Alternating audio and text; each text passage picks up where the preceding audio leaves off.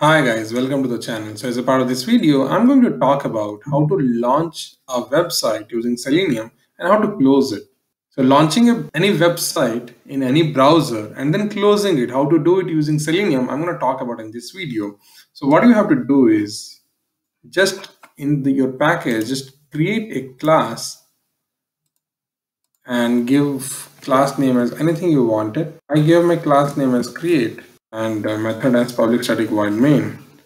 So to launch any website first, I need to launch my browser and for that I will be typing system.set properties en value.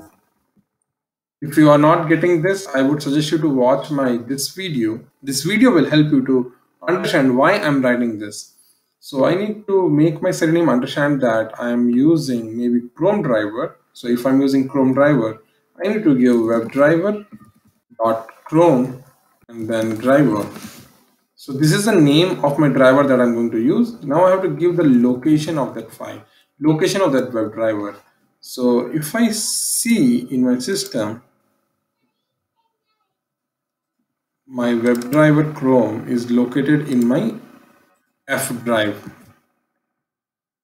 So I have to give my location of a file as f drive and then chrome driver dot exe and then I have to close it and then I have to write a statement to launch a browser. So that will be WebDriver driver equals to new Chrome driver. So it will ask you to import WebDriver file and also Chrome driver file. So I have imported both.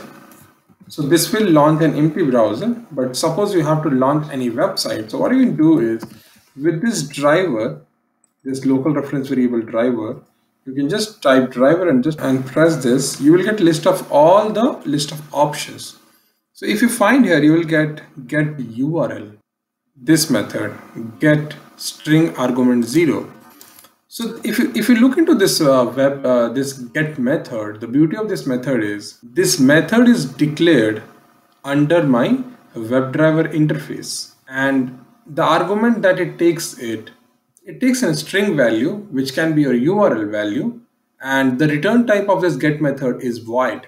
So if you, if you just type any website address here, let's say https and then google.com this will launch a after launching a browser this will launch google.com and suppose you have to after launching you have to quit that. You need to close that particular browser. So what you're going to do is we have a method called as driver.quit so if you just run this you can see that it is loading a browser and it is loading google.com and then it just closed it so if I just run it once again, you will be able to see that it is launching a browser. It is also launching google.com and then it closed it. So this statement will launch my particular browser and this particular statement will launch my particular website, any website that I may write inside this. And then my driver.quit will close it.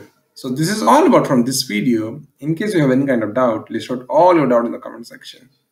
And if you think this video was useful, please give a big thumbs up to this video Subscribe to my channel Software Testing by MKT. Thank you.